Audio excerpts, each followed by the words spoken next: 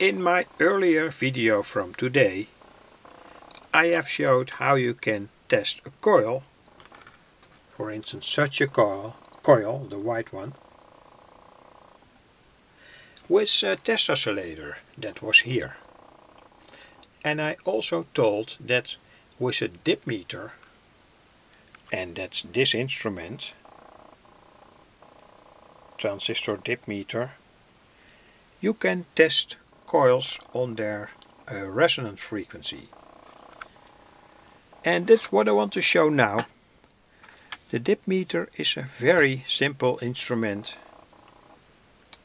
In fact it's an oscillator and to that oscillator we have connected a meter here with which you can see how strong uh, the oscillation is. And you can stick to the dip meter all kinds of coils. This is one of the coils. This is a coil for uh, high frequencies.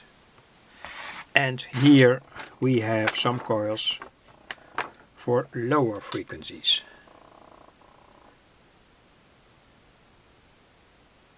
Stick them into the meter and then you can test um, a coil, an experimental coil.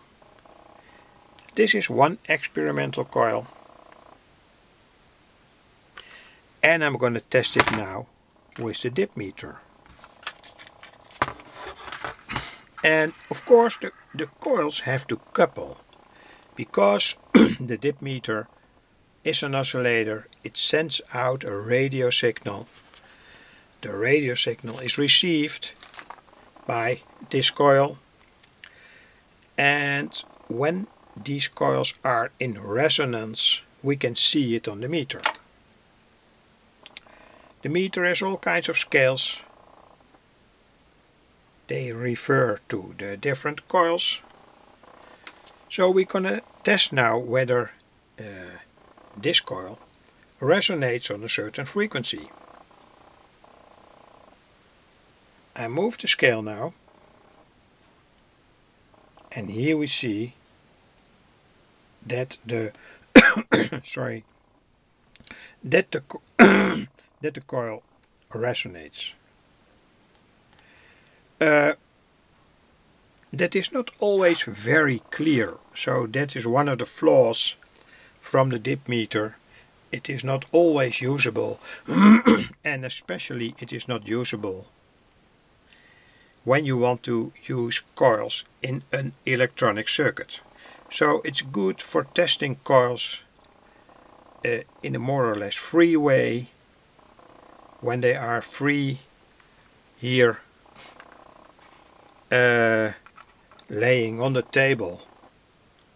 But when you have coils in a reel, there are always um, other uh, influences to that coil.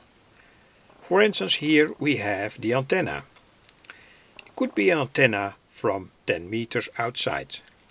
That antenna from 10 meters outside is, has a capacitive influence on the coil, an inductive influence because it's a long wire, etc. etc. So the coil is damped.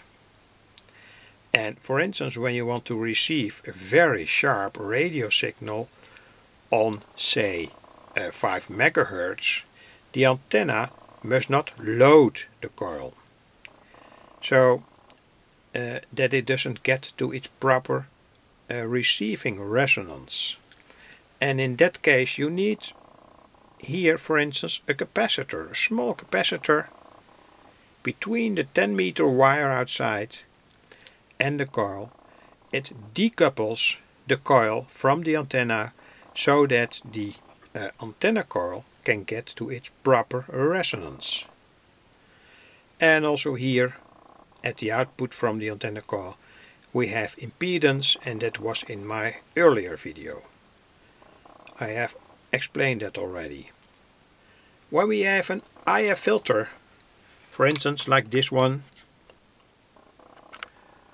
or like that one, all IF filters on 455 kilohertz, we are um, encountering the same problem. These filters may not be damped so that they are taken out of their resonance frequency by the input stage or the output stage. So they must be coupled loosely to the input stage and to the output stage and the best idea is to uh, connect such an IF filter to a field effect transistor, to the gate from a field effect transistor. That keeps a resonance in this IF filter sharp, properly. And that means that you can receive all the radio stations very sharp. So no radio stations are mixed. And uh, here we have again the antenna circuit. It's what I have already explained. Use for instance a small capacitor here into the antenna 10 meter outside to keep the coil, the tuned circuit that's here, tuned to its proper frequency band. And often this is not a fixed capacitor but a variable capacitor. So, um, and in this way you can tune the, the antenna coil to all the frequencies that you want to receive. For instance, between 2 and 10 megahertz on shortwave, or even higher. This is again the field effect transistor gate uh, to prevent that the tank circuit is loaded in some way. So again, about the same uh, issue. I hope uh, it's somewhat clear and uh, wish you luck. Uh, the dip meter again, inner side from the dip meter you can also make a dip meter yourself. Not very uh, difficult.